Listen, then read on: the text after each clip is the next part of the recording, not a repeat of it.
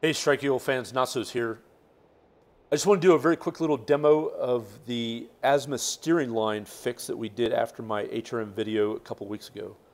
Uh, for those of you that watched it, uh, if you remember right at the very end, uh, several people in the Discord pointed out that there was an issue with the azimuth steering line was kind of wobbly as I tried to line up on it, and it's absolutely true. Uh, that was a known issue. We've known about it for a while, and we've been working on fixing it. Uh, the beauty is that the Radar Chicken God actually uh, figured out a fix to, uh, to get it to be nice and stable. So what I wanted to do was do a quick video to uh, show you that progress, to show you that that's been fixed. Uh, and the feedback was definitely much appreciated. So what I'm going to do is I'm going to do a very quick little demo with um, a patch map and then a, a GBU-10 uh, laser guided bomb attack on a BTR 80 that's sitting on the runway here at Creech Air Force Base. So what I've got queued up right now is uh, target or two point is, uh, is set up uh, for the map. Uh, what I'm going to do is uh, as soon as I take it off pause, I'll, I'll, check away, take a map of it, we'll designate it, and then we'll run in to do the GBU-10 attack.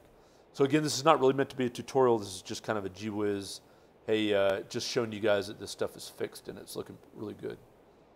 So checking away right now. Again, remember you've got to be outside of the blind zone of the nose, uh, that plus or minus eight degrees. Ideally somewhere in the 30 to 45 degree range, so we'll go ahead and take the map here once we're out uh, in that 30 degree range. So I'll go ahead and freeze the map. I'll switch over to Multi-Look 2 to get a little bit better view. I'm in uh, EGI present position keeping source, so you're not going to see any drift.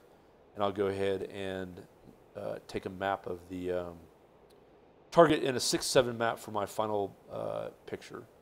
So you can see right now, uh, the BTR-80 sitting right underneath the little crosshair. You can see a little dot there at the taxiway uh, intersection. So I'll go ahead and switch over. You can see right here, PB7, I'll switch over to target cursor function. I'll go ahead and take a map. I'm sorry, I'll take a final designation. And then you can see over on the, sorry, on the uh, target pod, I'll go ahead and hit expand. I'll zoom in. And you can see now that that is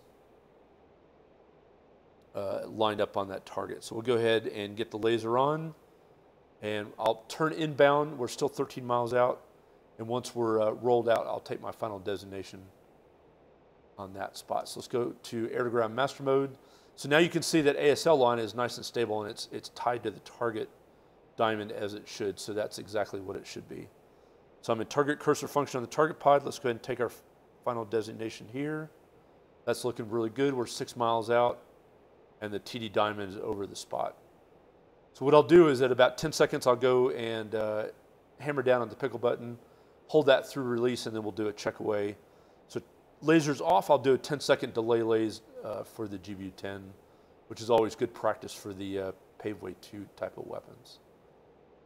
So there's coming through 15 seconds T-rail. Again, the key here is you want to get as lined up on the ASL as you can. Not as big a deal for a laser guided bomb on the pickle button. Master arm's hot. There's my bomb fall line is coming down, doing my best to get as stable on that line as possible. Weapons away. Let's go ahead and get my cursor on the spot. And we'll do a check away here. And again, we're looking for that 10 seconds T-rail to, uh, to go ahead and get the laser on. Let's refine that spot here. I've got a point track now laid down. 13 seconds T-rail. 10 seconds lasers on. It's point tracking the spot that should do pretty nicely. Three, splash. That's well within the, uh, the, the uh, margin of error for the time of fall. It's actually not unusual for it to hit uh, plus or minus about two, two to three seconds at a time. So you can see that's all working really nicely. That's a, that's a huge improvement over what we had on the um, previous video. Just realize that all this stuff is work in progress, uh, but I just wanted to show you that all that stuff is uh, continuously being updated and everything is looking really good. All right, guys, I'm going to leave you with that. I'll talk to you, talk to you later on the, uh, the next video. See you.